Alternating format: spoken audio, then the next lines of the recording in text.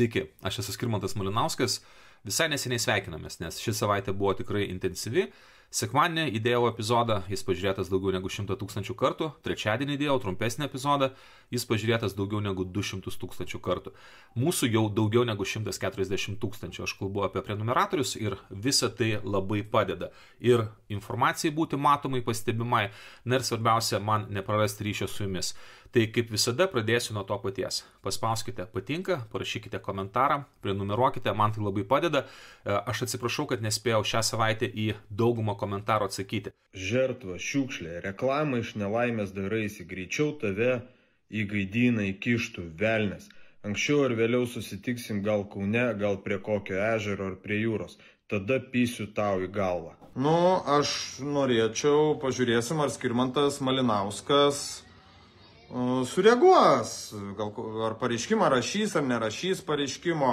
Labai trumpi trys pastebėjimai. Pirmiausia, aš suprantu, kodėl Antanas Kandrotas kalba apie gaidyną. Aš čia negaliu su juo diskutuoti, nes neišmanau šios temos, o jisai sėdėjęs, asmeniškai susidūręs, turi daug patirties, žino apie ką kalba. Baigęs montuoti epizodą, aš vis dar nežinojau, dėti ar nedėti iš tos kadrus. Bet nusprendžiau vis dėlto paskutiniu momentu, kad sudėsiu, nes tai yra svarbu visuomeniai. Tie kadrai nebus malonus, bet jie jums daug dalykų paaiškins. Tai yra Antanas Kandrotas pats yra linkęs kitus vadinti gaidžiais, jisai labai su tom savo zonos panetkėm didžiuojasi, galima rasti straipsnį, kuris aiškina, kaip kiti sėdės, jisai grasina, pavyzdžiui, Mantui Stonkui, kažkada pas jį nuvažiavo su kažkokiais, kažkokiais vyrais neiškiais, na ir ten jie keliese bandė jį pulti. Tai žinok, silikonai, aš man atrodo vėl tave aplankysiu, nes jau matau, kad tu čia Jau vėl bangot pradėjai, vėl reikia čia tave biški nuleisti vietą, man atrodo, vėl visus nusikabinsiu aš tave kažkur, tai tai man atrodo silikonas vėl visus, visus to miesto mentus išsikvies, kiek yra. Bet aš noriu jums parodyti, kaip iš tikrųjų Antanas Kandrotas sėdėjo ir kur yra tos giluminės traumos jo ir apskritai, kodėl jis yra celofanas. Aš visų kadrų jums rodyti negaliu, bet aš parodysiu keletą, kurie, man atrodo, neperžengia įstatymų ribų ir tai yra labai svarbu visuomeniai, dėl to, kad jūs daug ką suprasite. Šitas žmogus celofanu vadinamas ne šiaip savo, jisai turi dvi pravardės - celofano ir turisto. Celofanas tai yra ta plėvelė, kurioje jisai buvo zonoje apviniotas, jisai buvo mušamas, ant jo pilama yra briliantinė žaluma vandenyje ištirpinta, jam yra stumiamas kažkoks vyras, iš jo yra tiesiog tyčiamasi. Bet kas, kas bent šiek tiek nusimano kalėjimo subkultūrai, supranta, koks ten yra jo statusas. Ir štai šitas žmogus išeina į laisvę ir jisai dabar pradeda terrorizuoti visuomenę.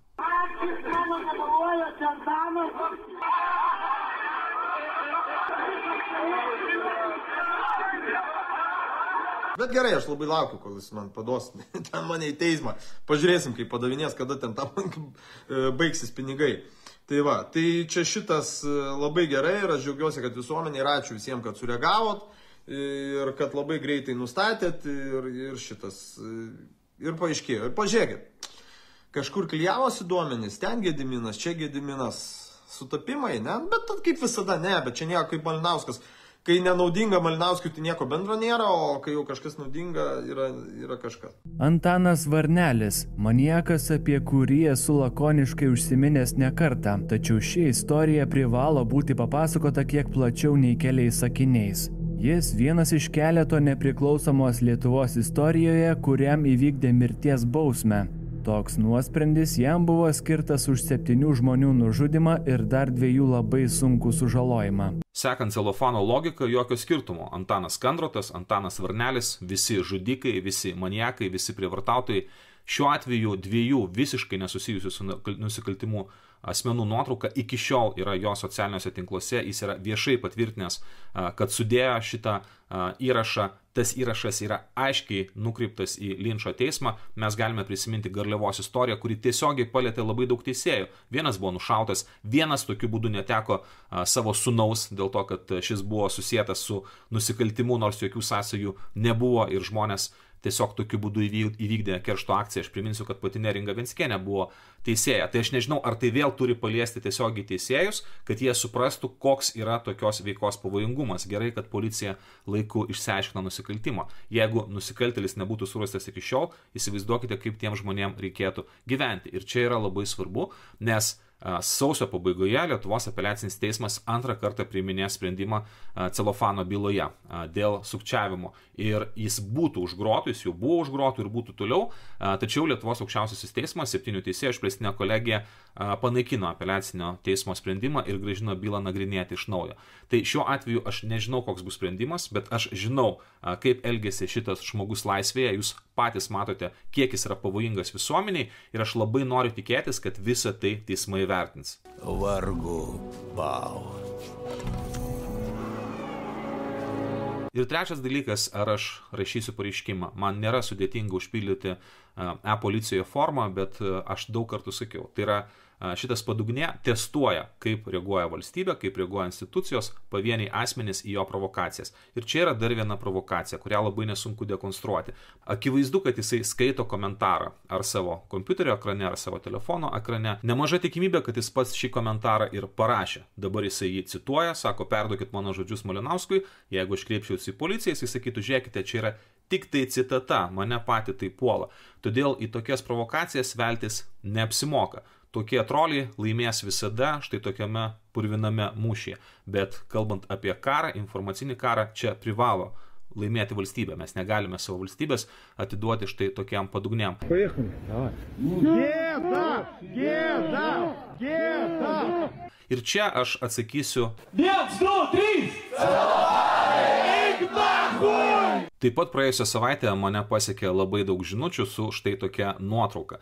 Tai yra Gintaras Pociūnas nusprendė, kad niekas nežiūri jo video apie mane ir nusprendė sudėti nemažai pinigų tam, kad kaip mokama reklama jį paleistų YouTube. Tai yra žmogus, kuris ima pinigus už finansinius patarimus. Pasižiūrėkime, kokia gera ši investicija. Štai šis video ir aš parodysiu, kas yra manipulacija bei kaip veikia YouTube'as.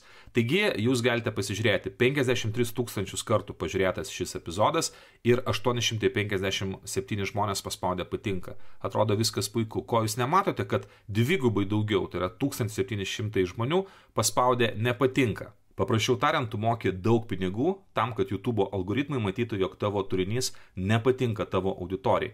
Kai tik tai tie pinigai baigsis, aišku, dabar jie yra išjungti YouTube robotai, YouTube algoritmai, nes kapsi pinigai visiems yra rekomenduojama šitas video, bet kai tik tai pinigai pasibaigs, YouTube algoritmai iš karto sakys, mes už dyką tokio kanalo ir tokio turinio niekam nerekomenduosim, dėl to, kad jis yra priemamas labai neigiamai. Na ir galime pasižiūrėti į komentarus, kurie yra masiškai trinami. Šiuo atveju man įdomiau, ką pociūnas palieka kaip tinkamus komentarus ant savo sienos.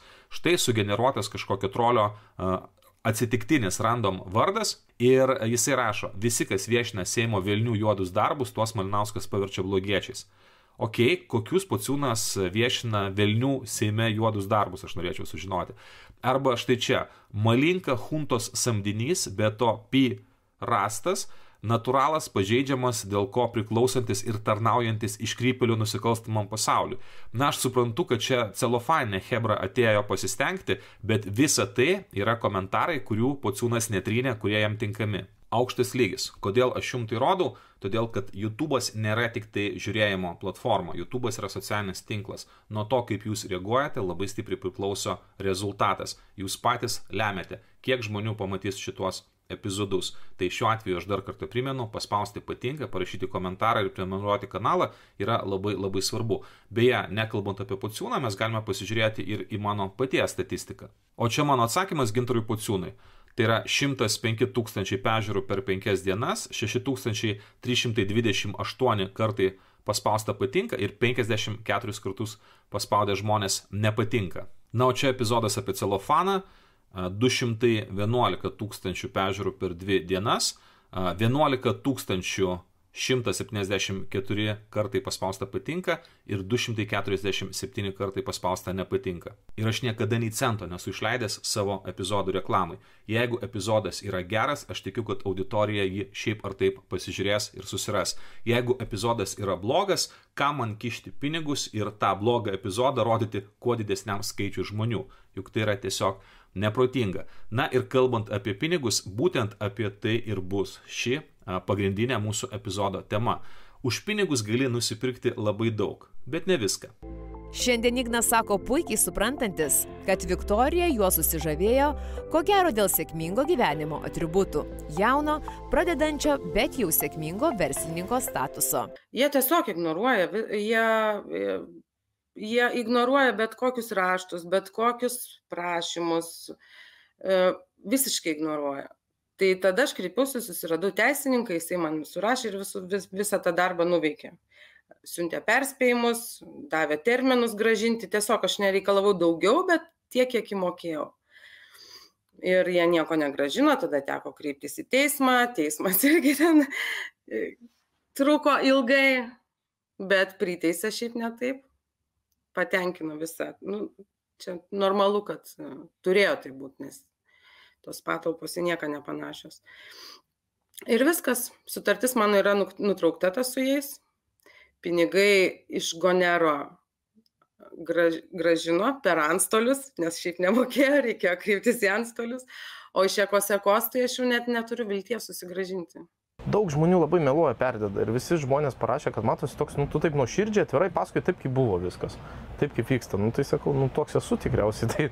Galvojom, kad viskas bus tvarkoj ir Bet laikui bėgant pradėjo tęstis terminai, pradėjo persiųsti sutartis su deadline'ais, kad bus nutesta toliau dar keliam mėnesiam, nes čia pandemija, negauname medžiagų ir taip toliau.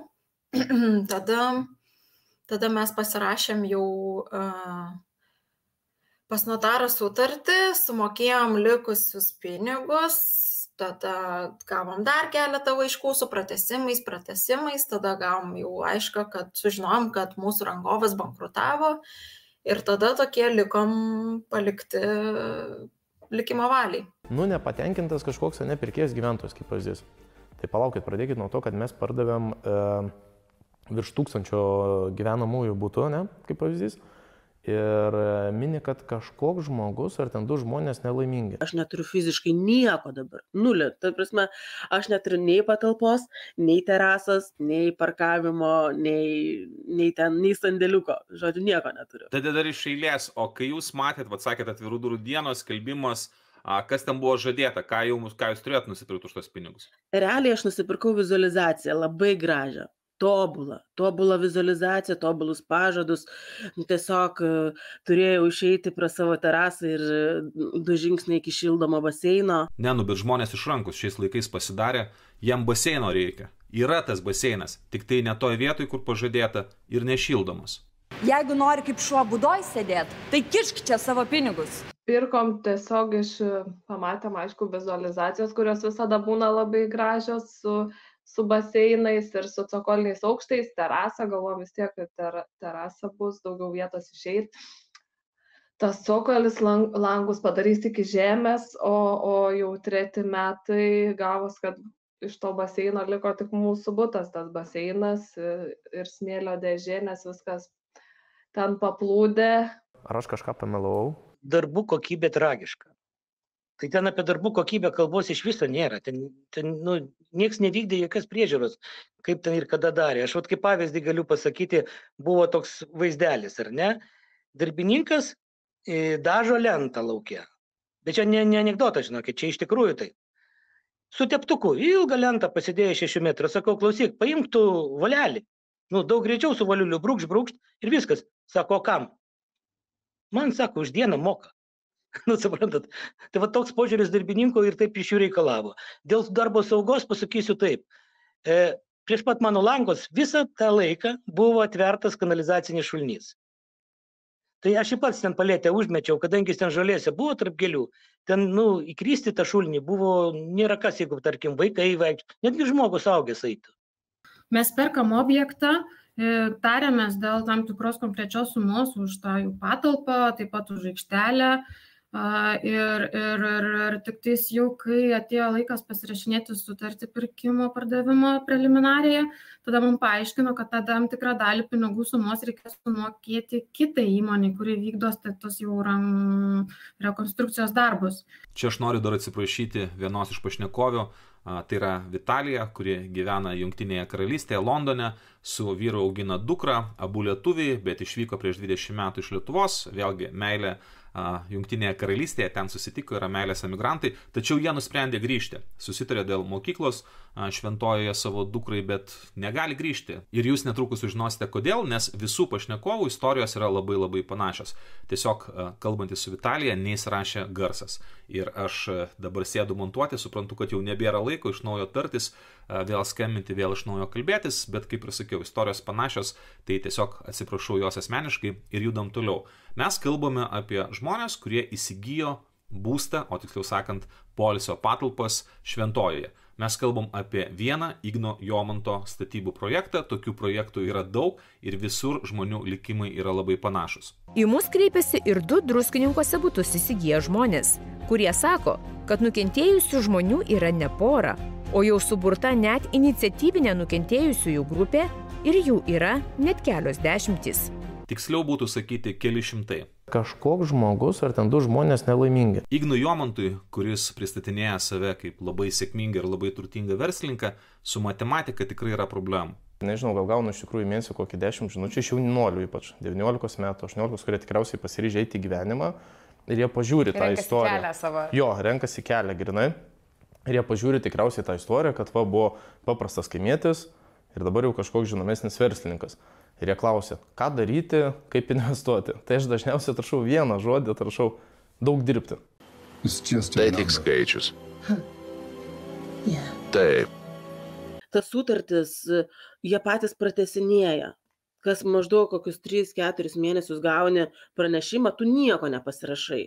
Jie vienašališkai, nors pagal preliminarią sutartį jie to negali daryti. Turi būti abiejų šalių sutikimų. Jie patys pratesinėja. Sugalvotos priežastys irgi tokios, nu, ko, kosmosas, kažko, kažkokios, ne, kažkokie neiškumai. Ne, tikrai nebūčiau pirkusi, nes tai kainuoja ir nervų, ir pinigų, ir laiko, ir vis tiek per tą laiką tu kuriesi planus, galvojas, galvoju, kaip ten įsirengs ir taip toliau, o dabar tai, nu, ten, aš, aš neturiu net nei vieno gero žodžio pasakyti. Labai gražus projektas buvo paruoštas. Vat tą galiu pasakyti, tam, kad parduoti, kad žmonės susiviliotų, aišku, tais baseinais aš jau nebetikėjau nuo pat pradžių, man jis gal net iš vis neaktualus. Bet kuo toliau, tai man iš tikrųjų netgi ne, nepiktant jų tiek, kad jie čia bando apgauti, susirinkti pinigus, nestatyti, bet labiau net netų pinigų nesusigražintų man.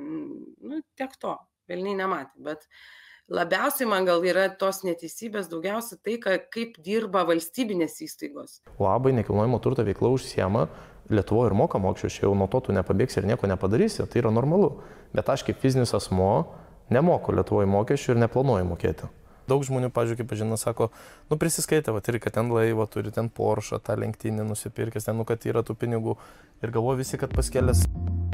Apie savo nepaprastai paprastą gyvenimą pernai vasarą mūsų laidoje pasakojo Ignas. Nors šiaip jau, kuklumu jo tikrai neapkaltinsi. Į interviu atvykęs su netoli 300 tūkstančių eurų kainuojančiu Mercedesu, Ignas tąkart pasiūlė pasikalbėti jo jachtoje. Kur mano šaibos? Pasakysiu, pasakysiu. Jūs jau supratote, kad kalba yra apie statybas, apie apgautų žmonės ir apie žinomą verslininką, jis taip save pats pristato, Igna Jomantą, kuris žinomas ir garsus, pirmiausia dėl savo prabangių vakarėlių, automobilių, jachtų, savo meilės istorijų ir taip toliau. Jūs matėte, aš daug remiuosi Delfi laida Kasdienybės herojai Rūtos Lapės. Sveiki! Visai neseniai skandalingasis pajūro verslininkas Ignas Jomantas buvo viešai pavadintas apsišaukeliu. Neva joks jis milijonierius, o laidose ir šiaip viešai rodomi turtai bei vardyjamos įmonės visai ne jo. Tai kaipgi iš tikrųjų yra? Ir taip pat aš daug remsiuosi Vitenio miškinio tyrimais. Tiesą pasakius, man net remtis jais nereikės, nes su Viteniu mes pasikalbėsime. Aš nuvykau į Delfi redakciją, su Viteniu mes esame anksčiau dirbę, jis yra šiuo metu teisės saugos žurnalistas ir ne, ne vieną ir ne du straipsnius yra rašęs apie Igną Jomantą. Aišku, kartoti tai, kas jau yra vieša, kas parašyta ar nufilmuota, nėra jokios prasmės. Galite susirasti, paskaityti, pasižiūrėti, todėl čia bus ir naujų dalykų. Na, o pradžioje aš noriu pradėti nuo to, kasgi yra Ignas Jomantas ir Ajus Group. Igno įkurta įmonė Ajus Group pernai įsigijo 3 milijonus 800 tūkstančių eurų kainavusią girulių gyvenvietę ir dabar ten intensyviai stato naują įspūdingą kvartalą. Nekilnojamasis turtas dabar išgyvena aukso amžių, ar ne?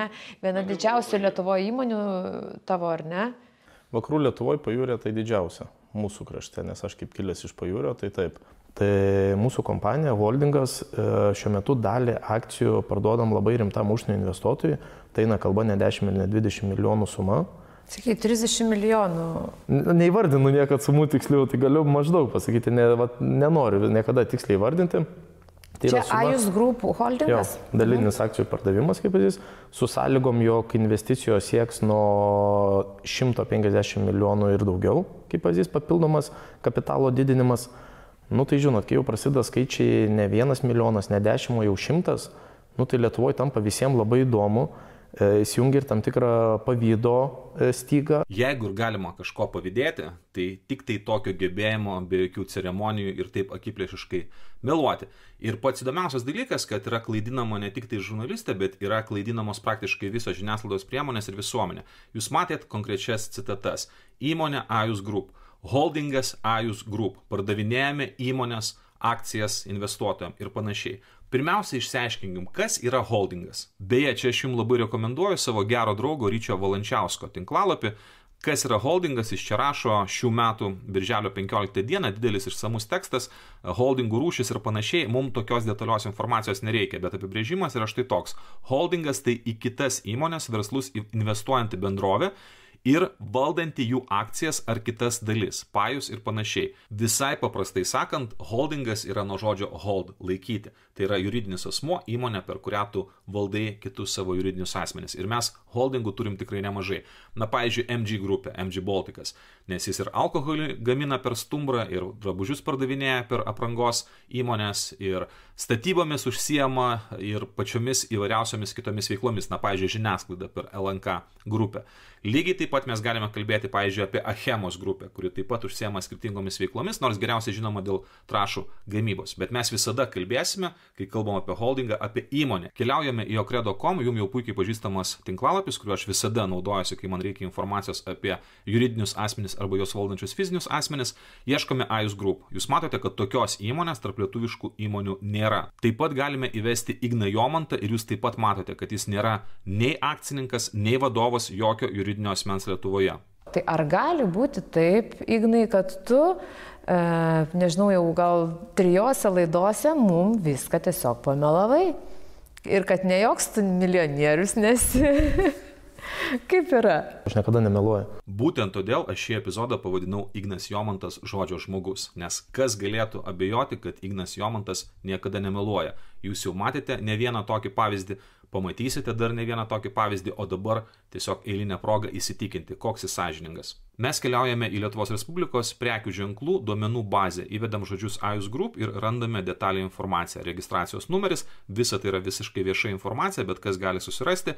Tai yra 21 metų, rūpiučio 2 dieną, kreipėsi Ignas Jomantas, kuris gyvena Klaipėdos rajone, priekulėje, prašydamas užregistruoti savo vardu šį prekės ženklą. Dešimčiai metų šis prekės ženklas jo vardu užregistruotas iki 31 rūpiučio 2 dienos. Man atrodo, neverta aiškinti, kuo skiriasi prekės ženklas nuo įmonės, o ypač nuo holdingo.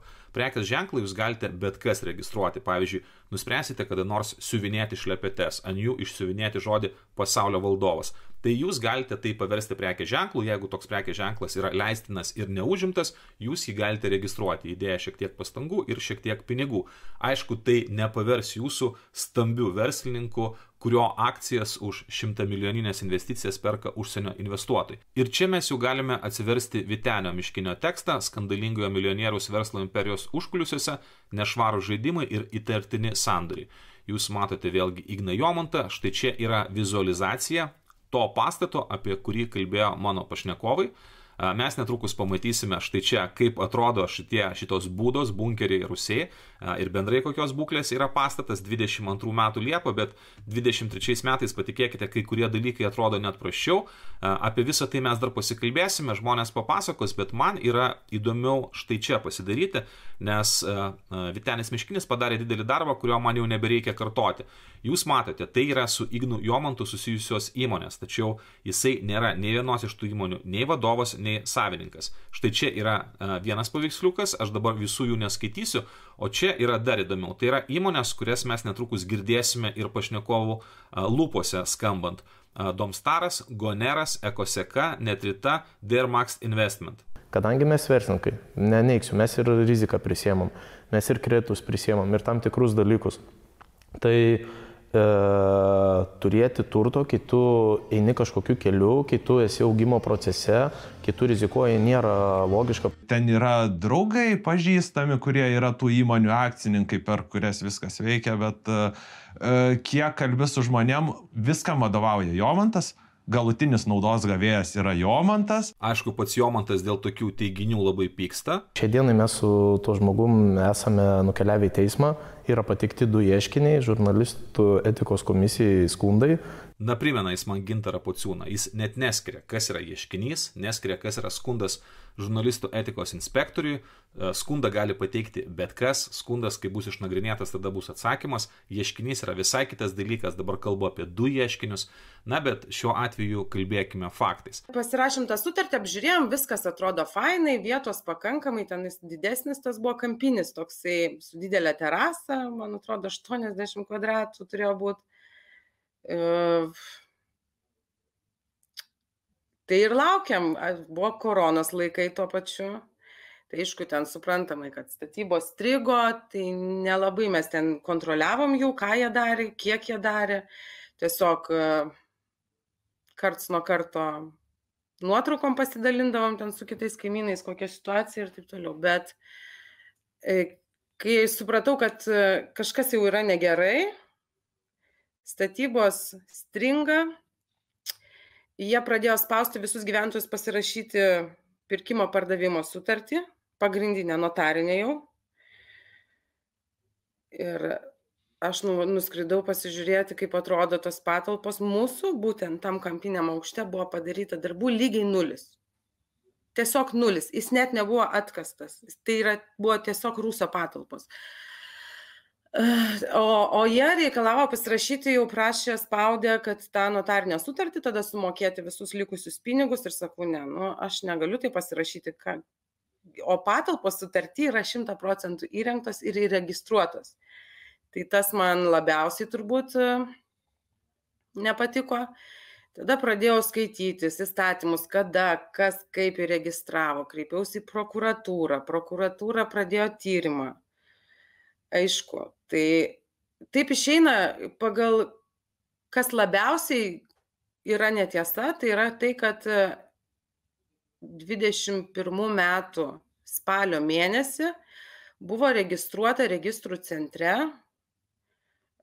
suformuotos naujos patalpos, pakeista paskirtis. Ir taip atsirado cokolinis aukštas. Reiškia, kad jie tą projektą padarė ten turbūt kadastrinius matavimus ir statybų inspekcija išdavė deklaraciją, kad viskas baigta, patvirtino, kad viskas įrengta, padaryta ir įregistravo tokiu būdu tas patalpas visas. O iš tikrųjų buvo nieko. Agnėtė pasakoja savo istoriją, istorija yra ilga, jinai iki šiol net gavo pinigų, visų pinigų tik tai dalį, aš irgi paminėsiu kodėl, bet visų žmonių yra istorija labai panaši ir aš ją papasakosiu glaušiau. Taigi, Ignas Jomantas ir su juo susijusios įmonės perka senus polsio namus, kurie priklauso iki tol bendrovė Limeta, senas pastatas, nelabai rentabilus, spėjau, jeigu pardavinėja ten tas verslas, bet didžiausias turtas yra nesenas pastatas, o sklypas, kuris yra visai netoli jūros šventoje. Na ir tada pateikiamas labai viliojantis pasiūlymas žmonėm.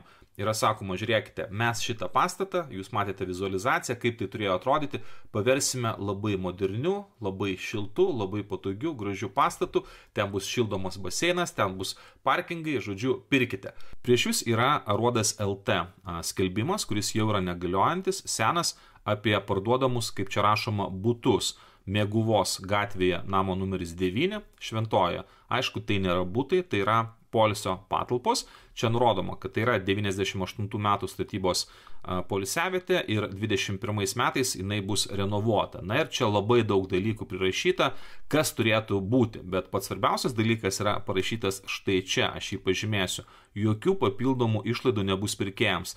Na ir čia fasado rekonstrukcija, langų pakeitimas, balkonų atnaujinimas, gerbuvio sukūrimas, visi ten led žibintai, augmenyje, nauja nuotekų sistema, elektros sistema ir panašiai. Kaina atrodo iš tikrųjų labai nedidelė, bet reikia suprasti, ką jūs perkate už tą kainą. Jūs matėte, ten yra 18 kvadratų, už kuriuos prašoma 26 tūkstančiai, susitikus su pirkėjais kaina visada pakildavo, nes buvo sakoma, visi labai nori pirkti, jūs turite, jeigu norite pirkti, mokėti daugiau.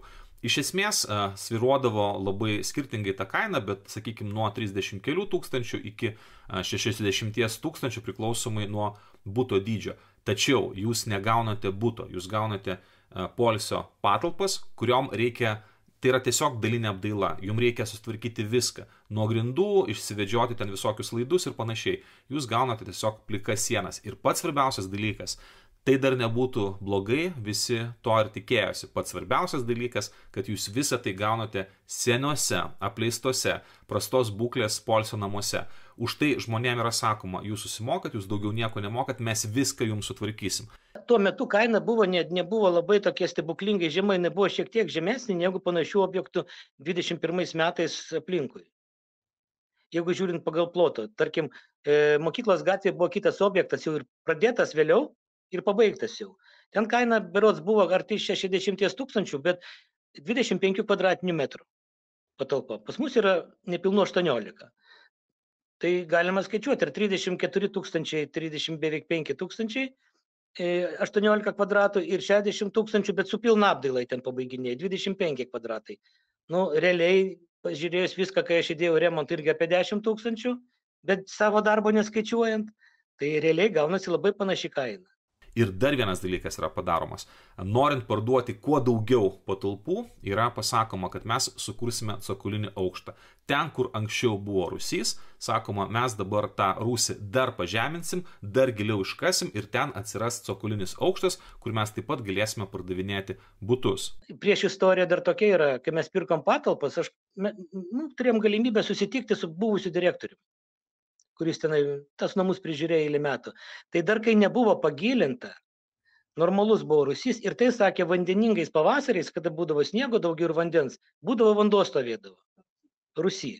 O dabar jie dar pagilino, tą drenažą nepadarė, tai ten, sakau, bomba yra.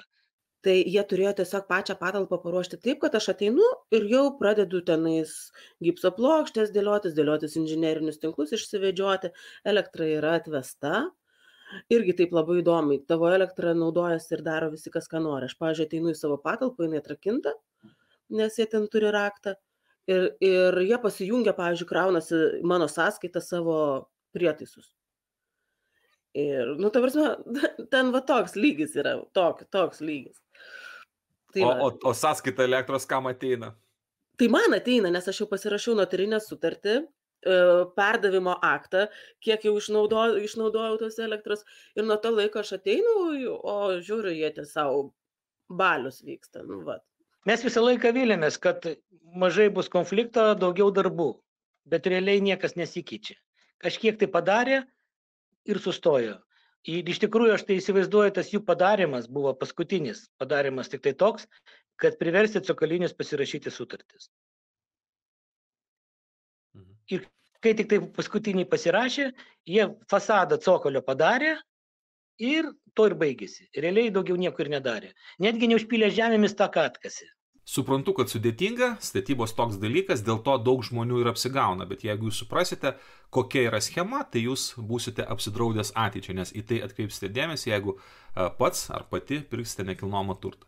Taigi žmonės ateina, sako, okei, okay, jūs čia renovuosit, sutvarkysit, mums viskas tinka, išsirenka būtus ir sumoka pirmą mokėjimą, avansinį mokėjimą. Na ir jie galvoja, kad viskas per pusę metų turėtų susitvarkyti. Bent jau taip yra pranešama, kad 21 metų pabaigai visos renovacijos bus pabaigtos. Po dviejų metų jūs čia praeisite pro aukso dulkėmis purkštus ir kristalais inkrustuotus vartus, pro kuriuos pateksit į įspūdingiausią Europoje. Ką aš čia dabar meluoju?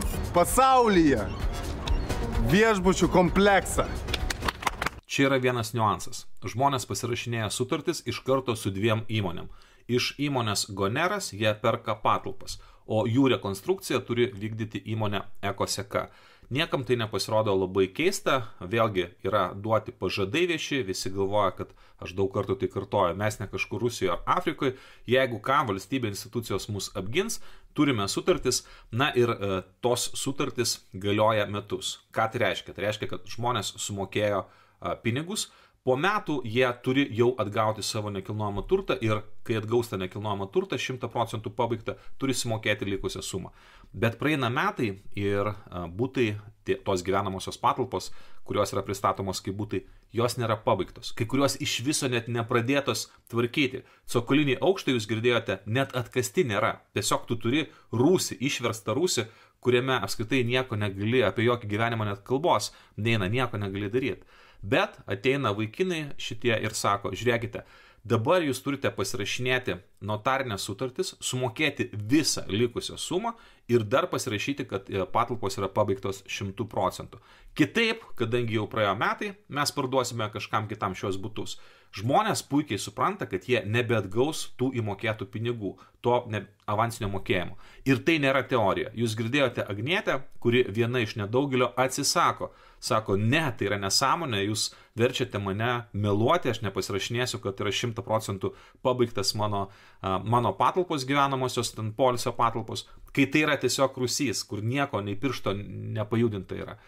Ir tada jai pinigai yra negražinami. Jis turi kreiptis į teismą ir net per teismą jinai net gauna visų pinigų, nes tos uh, išlaidos teismo ir jai uh, skola yra priteisiama per dvi bendrovės, viena iš kurių neturi jokio turto ir yra ant bankroto ribos. Tai čia šiek tiek tolimesnė istorija.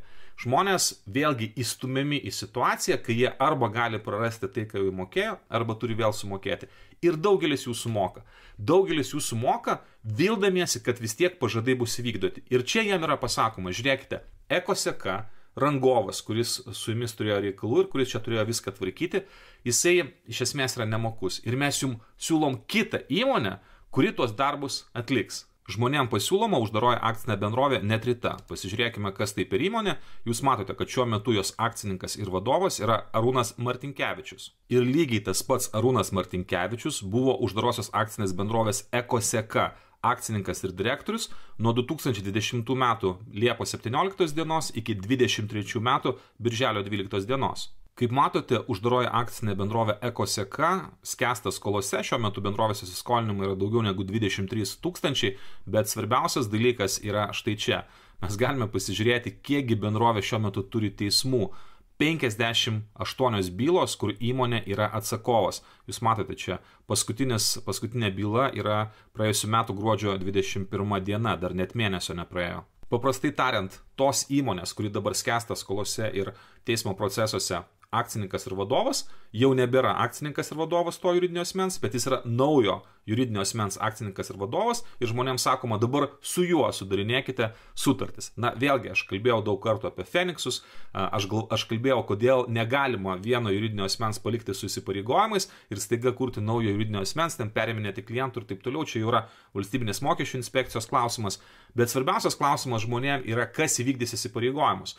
Dalis žmonių, jūs girdėjote, tiesiog yra balos, cokolinis aukštas skęsta, galų gale klausimas visam pastatui, e, kokia yra būklė, e, kas ten yra nebaigta daryti, e, kalba yra apie stogą, kalba yra apie pamatus, drenažas nepadarytas, ten klausimų yra ir su vandeniu, ir su elektra ir taip toliau. Žodžiu, aš nenoriu jūsų apkrauti, žmonės sako, Visi mums žadėjo, dabar metė ir išėjo. Kas tai pabaiginės? Dar daugiau. Žmonės sako, kad mes paprašėme bendrovės bent jau projektą mums duoti tam, kad mes patys galėtume savo pinigais papildomai tvarkytis kai kuriuos dalykus, nes tas namas gali greitai pasidaryti avarinės būsenos. Bendrovė atsisakė tą projektą pateikti. Kai aš klausiu, o įdomu kodėl, juk tai nieko nekainuotų, daugelis išreiškė abejonę, ar tas projektas nebuvo kaip nors keičiamas, ar nuo jo nebuvo nutolta, ar jo buvo laikomasi. Ir jeigu būtų rankose žmonių įrodymai, kad buvo kažkokie pažeidimai. Nežinau, kaip jūs čia tvarkot reikalus, bet aš tą gaidį surasiu.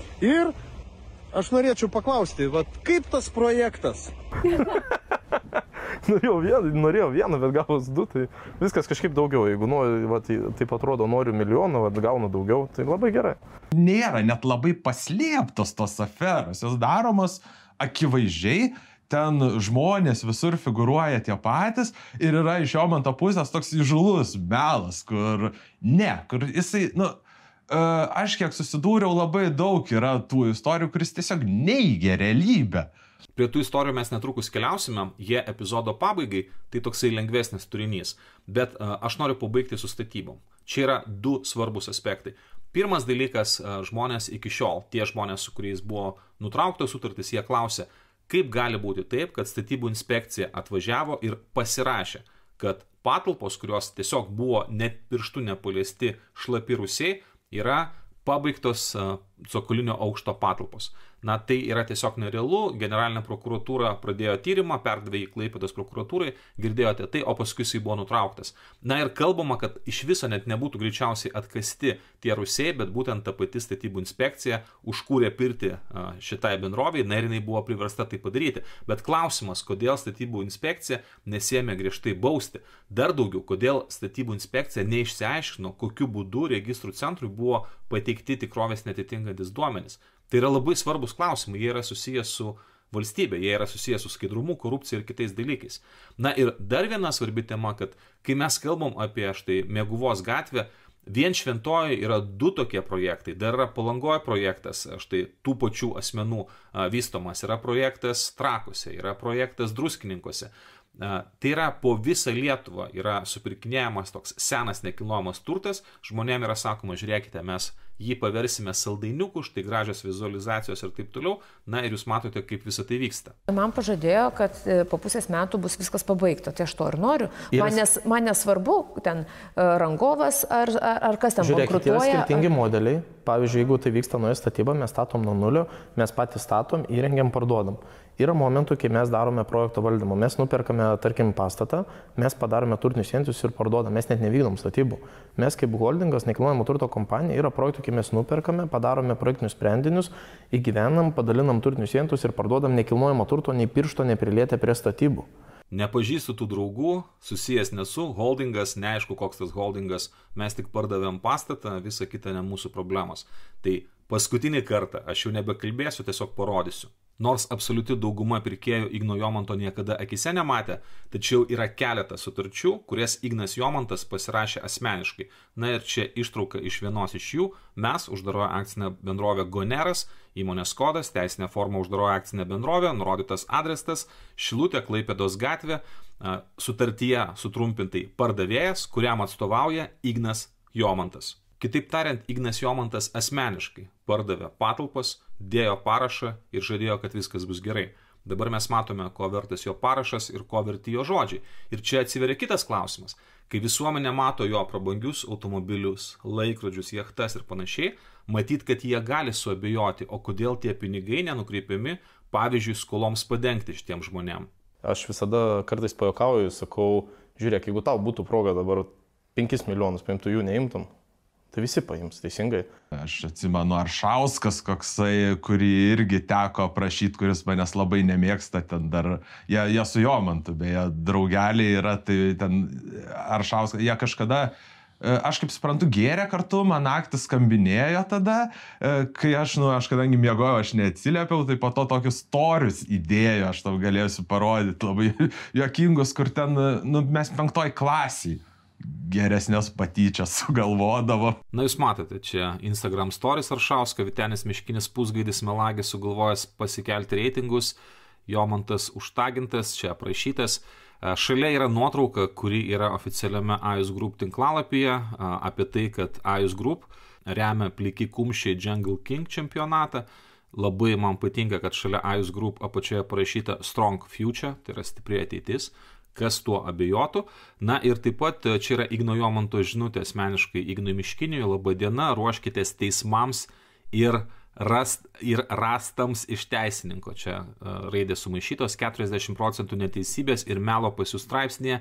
Jeigu jau rašai, tai rašyk tiesą ir kas sakyta, o ne priburk nesąmonių. Asmeniškai pasirūpinsiu tikrai ir skirsiu visą energiją, kad to būtų kalnas problemų ir visų, iš visų įmanomų pusių.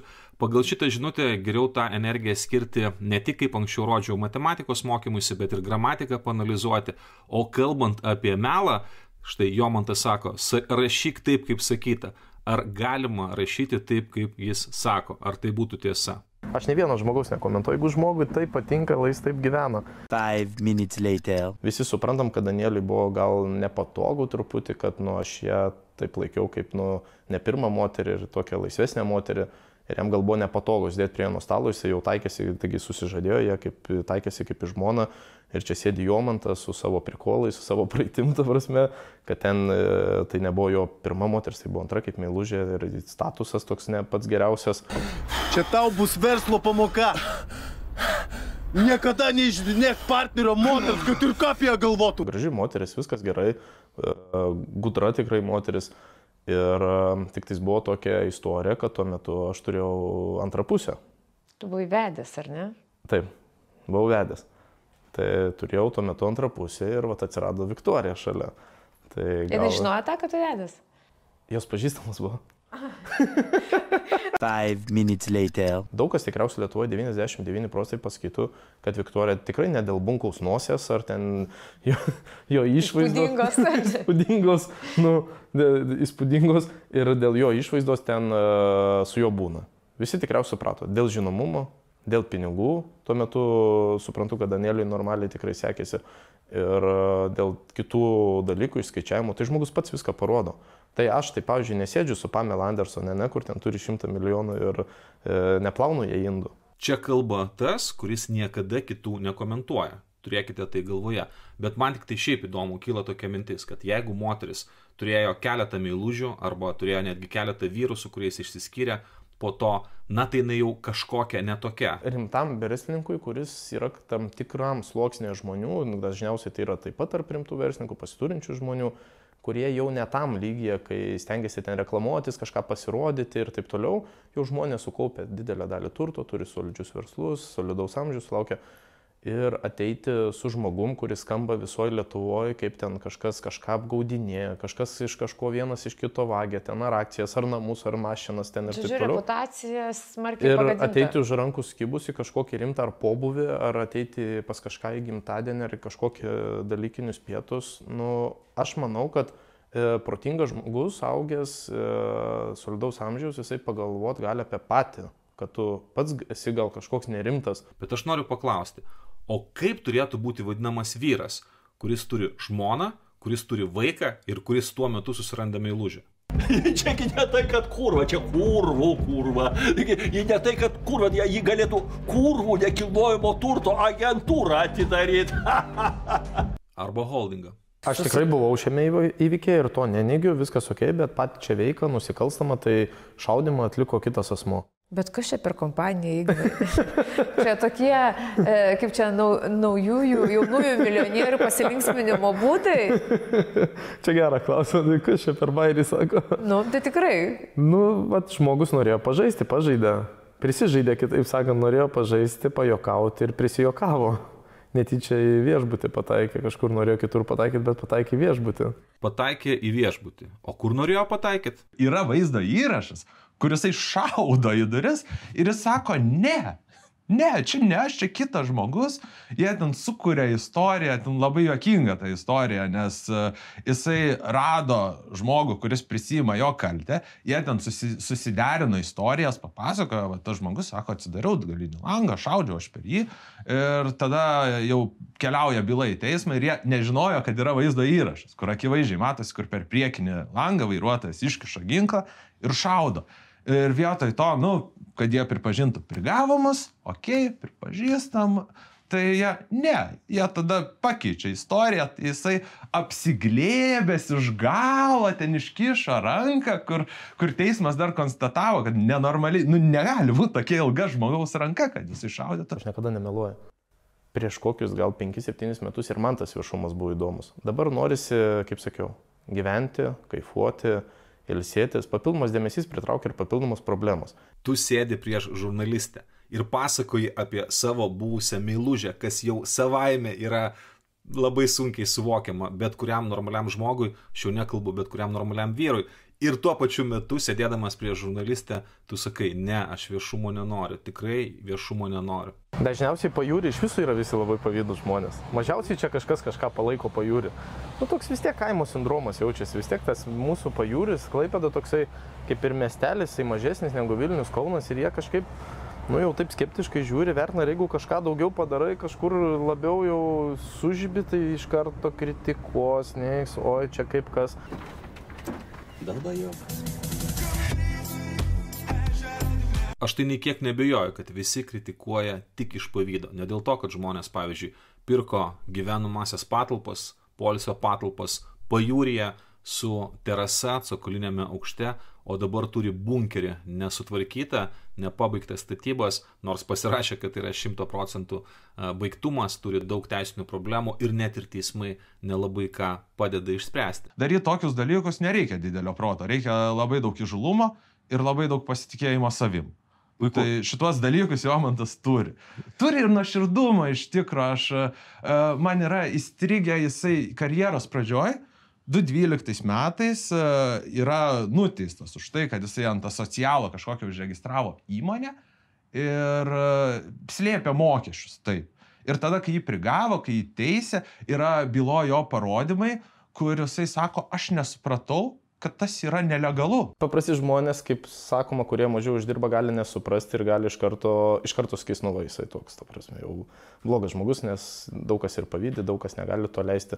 Na, matyti, aš esu labai paprastas žmogus, nes aš čia taip pat daug ko nesuprantu. Na, pavyzdžiui, paprastas eilinis žmogus, kuris turi sunkiai judančią žmoną, ieško kuo pigesnio būsto, polsio patalpų šventoje, nusiperka iš Jomanto tas patalpas, savo rankomis jas tvarko ir vis tiek lieka situacijai, kai yra apgautas. Na, o štai Jomantas, jisai pasakoja apie kažkokias šimta milijoninės investicijas į jo holdingą, nors tokio holdingo nėra, aš jums rodžiau, aš jo ieškojau ir užsienį, ir Lietuvoje, kad jūs suprastumėte, juridiniai asmenys, tokia ir yra esmė juridinio asmenų registracija, kad tai būtų vieša. Jeigu juridinio asmens registracijos tu niekur nerandi ir jinai yra kažkur labai labai paslėpta, nu tada klausimas, kam yra tokia juridinio asmens registracija iš viso reikalinga. Net kai mes kalbam apie offshore'nės kompanijas, jeigu tu turi tikslų kompanijos pavadinimą, beveik visada šitą informaciją nesunkiai surasi.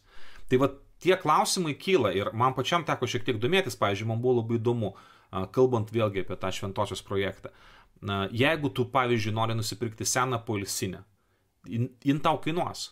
Tau kainuos pirmiausia dėl, dėl sklypo ir, sakykime, tau reikia kokių 800 tūkstančių eurų, tai tu tuos 800 tūkstančių eurų iš kažkur turi paimti. Konkrečiu atveju, kiek man yra žinoma, Estijos įmoniai yra įkeistas šitas projektas, bet esminis dalykas, kad tokių projektų yra ne vienas, tai yra pakankamai dideli pinigai ir aš bandžiau aiškintis, tai iš kur Jomantas tokias lėšas turi. Kai mes kalbam apie kokią nors Aršauską, ten viskas aišku, tai yra tėvo pinigai.